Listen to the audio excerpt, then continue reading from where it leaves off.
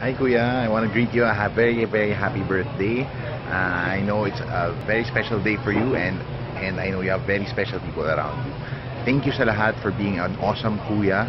Uh, and sobrang thankful ako dahil lagi tayong close. Kahit malaki age gap natin, nagsasama pa rin tayo and we're still able to talk about anything under the sun. I love you bro. I really support you in, in whatever you're doing. I pray for abundance and lots of lots of blessings to come.